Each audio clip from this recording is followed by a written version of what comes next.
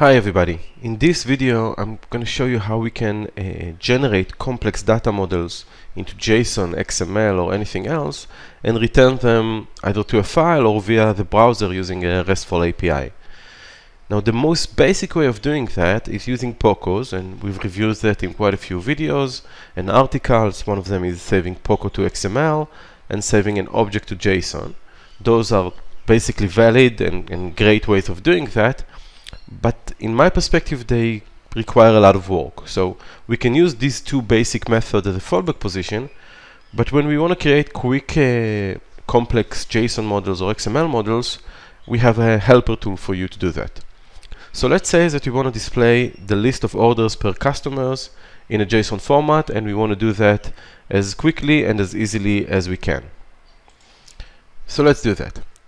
First thing we're going to do, I'm going to place this logic in the Northwind orders module. And I'm going to add a new item, which is going to be a business process that will run over the orders. We'll call it get customer orders.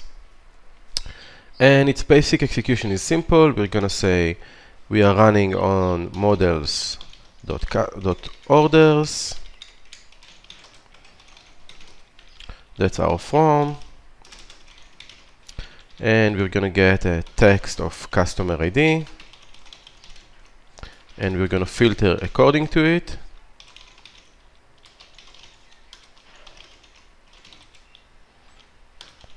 Perfect and we're gonna have a nice little live row okay? So this is the basic controller. It will iterate our orders according to the specific customer ID and do what we want it to do. So let's save it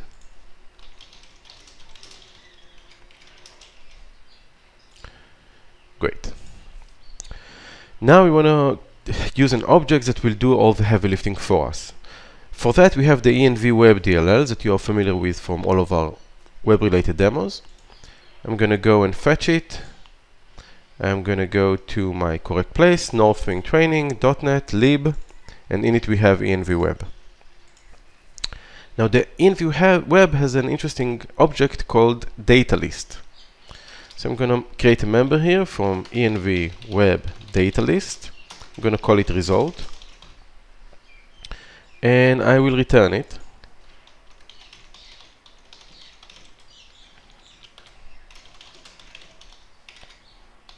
Perfect. Okay, so I've created the member and I'm returning it from the run method. And on the live row, I'm going to say var item equals result add item. I'm going to add an item to the list.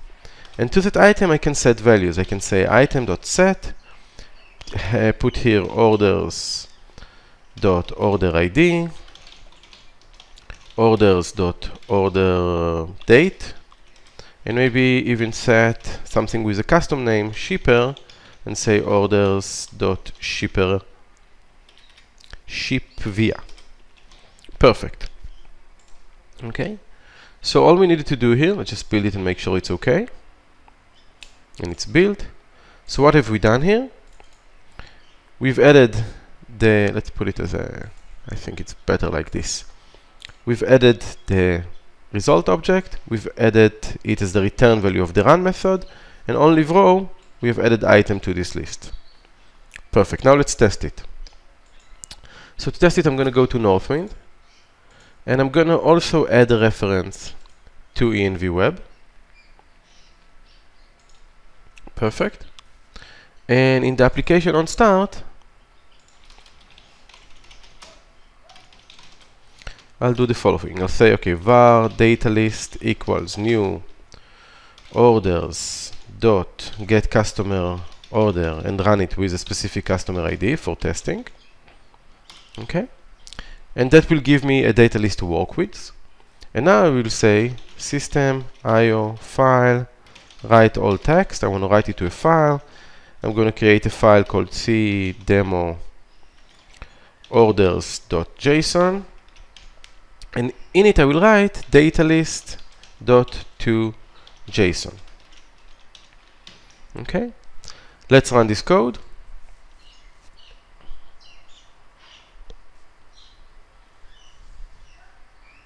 Yeah, let's set Northwind as the starter project and run this code.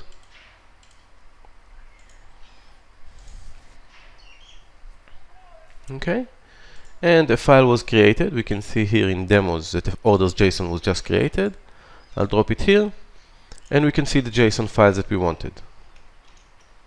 Okay, i have pressed uh, Control KD to format the file to make it easier to read. Control KD is defined somewhere around here. Format document. And I can see that I've created the JSON array that I wanted and the different items in that array. So let's recap on what we had to do in order to achieve this goal.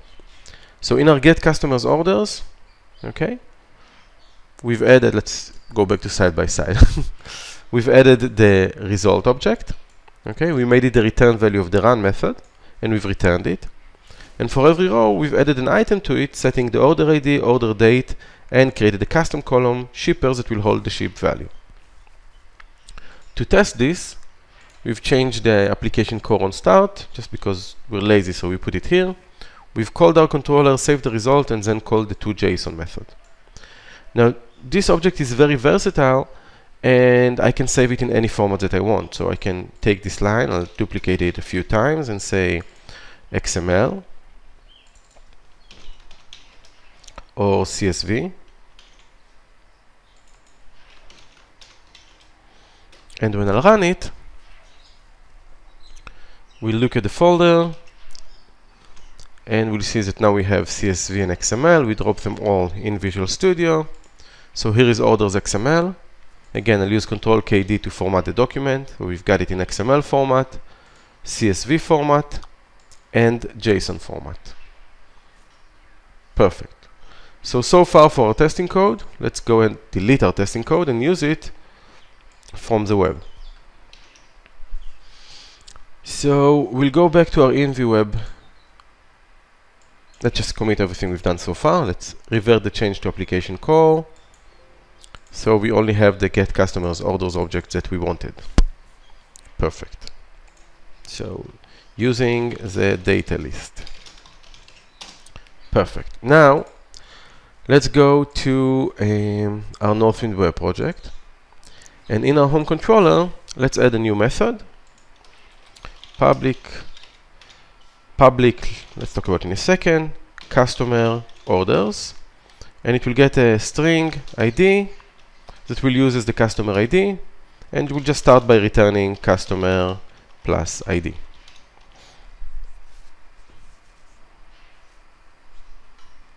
Great.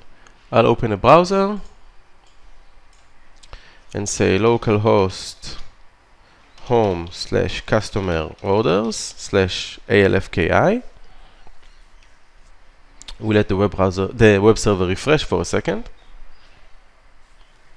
and we've got customer ALFKI. So we see that the value okay over here came into these parameters that we can use great now let's use that to call our Northwind orders so instead of returning a string I'm going to return env web data result. Okay? And we're gonna call the return Northwind orders dot get customer order.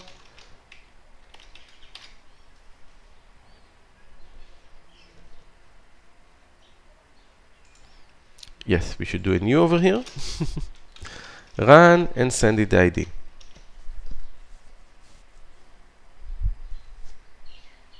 perfect so now if we go to our browser and refresh the page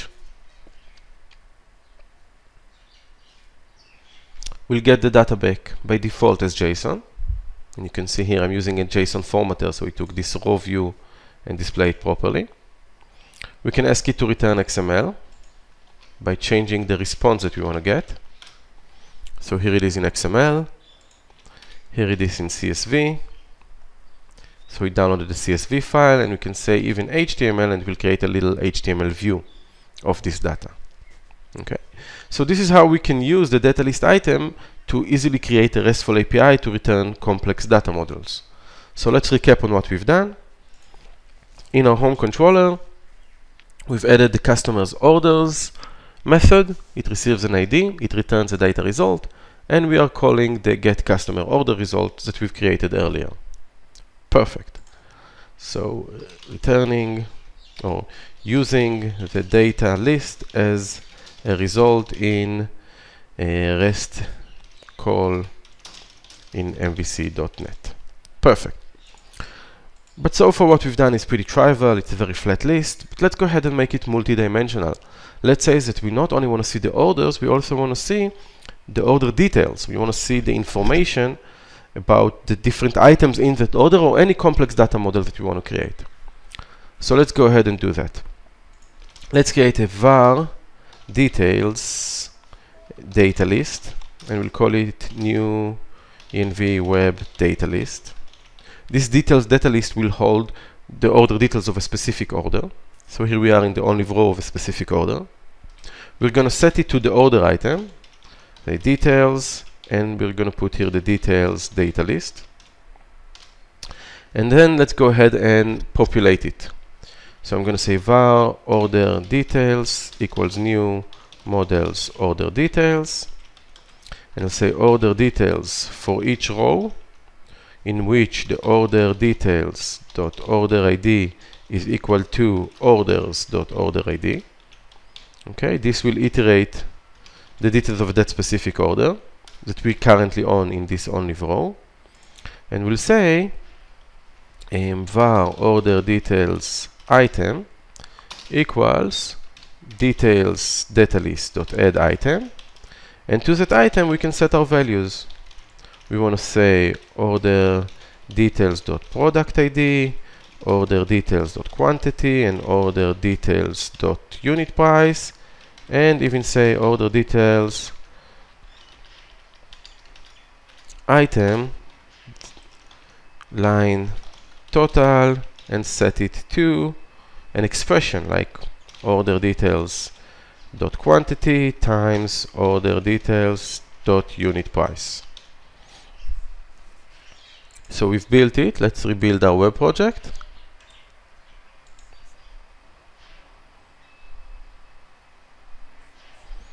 Great, and let's use it in our browser. So now if we refresh the page, Remember, we're still requesting for a response in HTML format, so it will create an HTML for us. So we have the order, order date shipper, and for everyone the details will have product ID, quantity, unit price, and line total. Of course, if we'll ask it in JSON format, which is the common thing we'll do, you see that we got the complex JSON object with the order information, and for every order its details. And just like we've done this in a, a two-dimensional way, this method is infinite dimensions. You can do whatever you want with it. How many uh, structures that you want to create. I think most structures can be created with this little data list and data item objects. Uh, and let's review what we've done so far. So to add the details to the equation, we've created another data list, one for every order, which will hold the details. And we've added it to the order items. Okay, the one that we've defined over here. And then we took the order details table, iterated it based on the correct order ID, created an order detail item for every item, and added the values to it. Now, this is a great method to easily create complex JSON or XML models and expose them to the world. It's a lot less work than using POCOs, and since 90% of the interactions that we do with the web are getting data, I think this can save quite a lot of work for you guys. I hope you enjoy this.